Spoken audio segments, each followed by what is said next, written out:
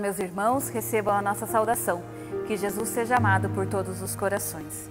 Sejam bem-vindos ao Liturgia Diária Verbum Domini.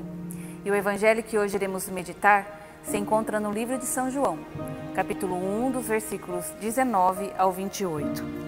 Este foi o testemunho de João, quando os judeus lhe enviaram de Jerusalém sacerdotes e levitas para perguntar-lhe: Quem és tu?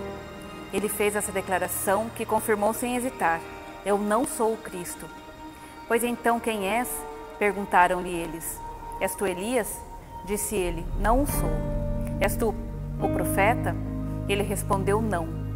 Perguntaram-lhe de novo: Dize-nos, afinal, quem és, para que o possamos dar uma resposta aos que nos enviaram. Que dizes de ti mesmo?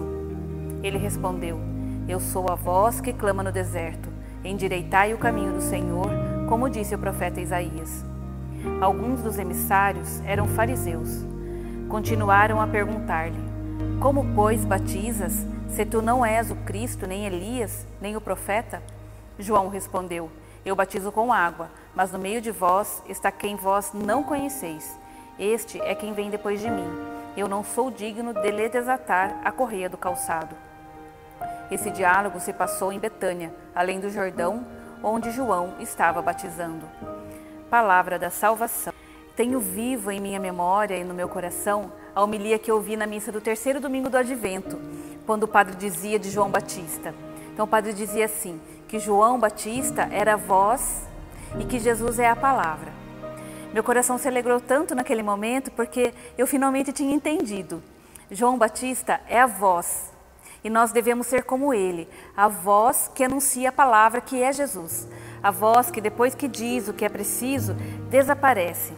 Mas a palavra que nós falamos permanece na mente e no coração de quem nos ouve. Então que a nossa voz possa falar sempre o que edifica, do que é bom, do que é belo e verdadeiro. Que a nossa voz possa falar de Jesus e que essa palavra, esse nome, possa cair no coração da maior número de pessoas possível. Não tem problema nenhum nós não sermos reconhecidos. Não tem problema nenhum sermos esquecidos, desde que nós tenhamos cumprido eh, o papel de ser essa voz que clama. Voltem para o Senhor, reconciliem-se com aquele que deu a sua vida por nós. Ainda é tempo de Natal, é tempo de festa, é tempo de reconciliação. João Batista é exemplo de humildade. Ele quis ser diminuído para que Jesus crescesse. Aprendamos com ele Muitas vezes, para fazer as pazes, para ficar de bem, para nos reconciliar com alguém, precisamos nos diminuir, passar por cima das nossas verdades, do nosso orgulho. Mas que bom se nós conseguirmos fazer isso nesse tempo. Seria um presente muito valioso que daríamos ao menino Jesus.